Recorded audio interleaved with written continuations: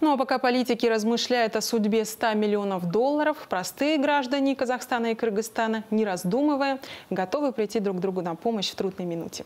Это наглядно продемонстрировали кадры, снятые видеорегистратором на трассе. Казахстанский грузовик прикрыл собой от ветра кыргызский.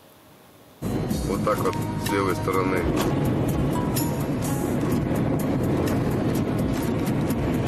Машина вот казахская прикрывает киргизскую машину, чтобы ее не перевернуло, не сдуло ветром. Вот такие ветра в Каратау. Кадры сняты на трассе возле города Каратау Жамбылской области. По словам автора, в этот момент был сильный ветер. Даже пешеходов сдувало. Фура из Кыргызстана ехала пустая и в любой момент могла перевернуться. Удар на себя принял водитель машины из Казахстана. Он даже выехал на встречку, чтобы помочь. Пользователи интернета пришли в восторг от взаимопомощи.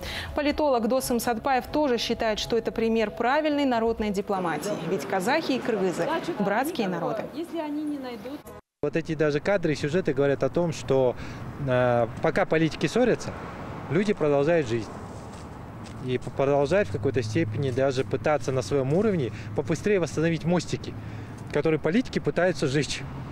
Это является э, очень хорошим уроком для кыргызских и казахстанских властей, как на самом деле пытаться решать эту проблему. Не через конфликт и конфронтацию, а через взаимопомощь. Вот. Потому что мы никуда друг от друга не денемся.